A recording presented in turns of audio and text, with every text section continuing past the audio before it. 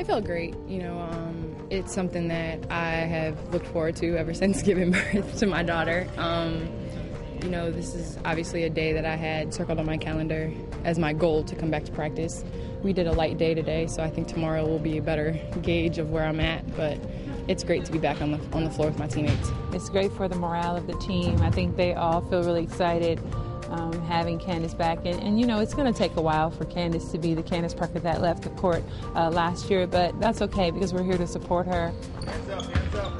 For, for about five years, she played all year round. And now this is her first time having this extended kind of time off and just to you know, obviously having a baby, you pick up a little bit of weight, but she just got to get that off. And I mean, she looks great. And silk is silk. The reason I named her silk because smooth is here first, and it's smooth as silk because it's like passing the torch. So uh, it's nice to see her sweating because that means she's on the court, and I'm happy about that.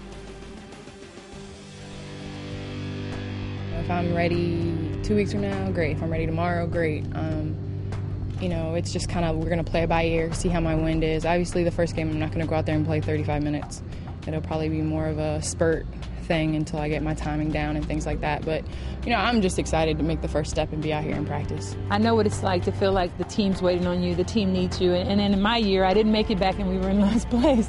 So um, I, have felt that before, but I think it's important for her to take the time that she needs uh, to be at her best you know, you don't really want to be out there when you can't be effective and really helpful to your team.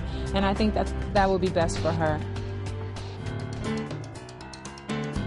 I saw the cones come out and I knew they were they were for me and Coop called my name. But you know, it's just about trying to get my wind back and doing basketball stuff instead of just running. This is some good conditioning work for her. It's going to be about her getting her timing and her basketball skills back when she's hitting shots. So it's good to see that. She can play this game. She loves this game and she's passionate about it. And she's going to work hard to get out there and help to contribute as soon as possible. Our main goal is to win a championship, and she's a big part of what we're trying to do as far as get there and win it.